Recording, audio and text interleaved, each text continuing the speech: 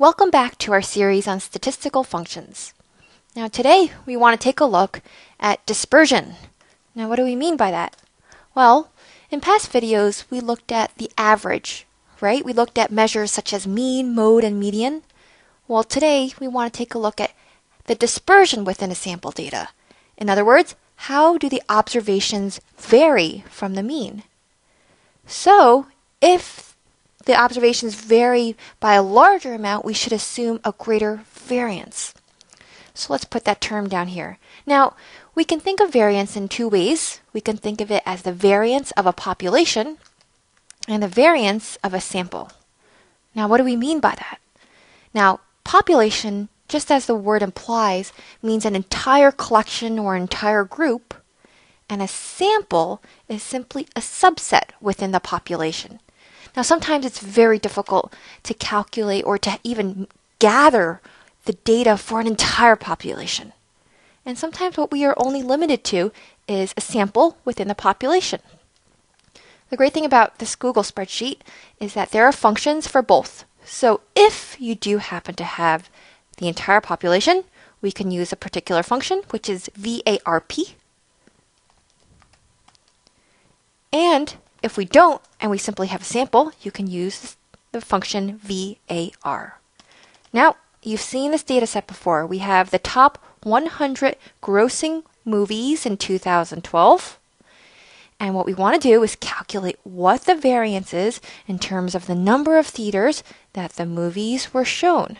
Now, if we make the assumption, which is incorrect by the way, but if we make the assumption that this list of 100 movies represents the entire universe of movies that are out there, and we want to calculate the variance of the number of theaters shown, then we would use the function VARP and capture the range, which yields a number of 460,000.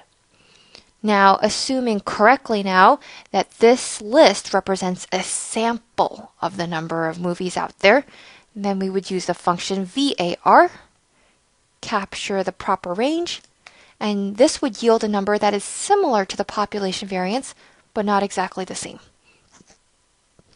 Now, another term you may have heard before, and it's actually quite commonly common, is the standard deviation. Now, the standard deviation, again, you could look at it from uh, assuming that you use a population data set and also assuming that you have a subset or a sample.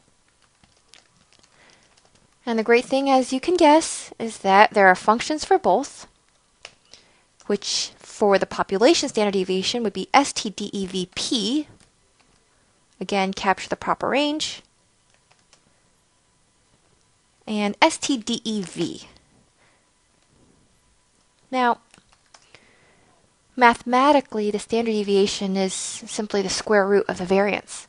So if you have the variance already calculated, we can confirm that the standard deviation is calculated correctly by taking the square root of the population variance, which should result in the population standard deviation. Let's take a look here. Enter 679, 679. Great. So as a summary, let's take a look. Here are the function names for different types of measures of dispersion measured across a population or a sample. Thanks so much for listening today.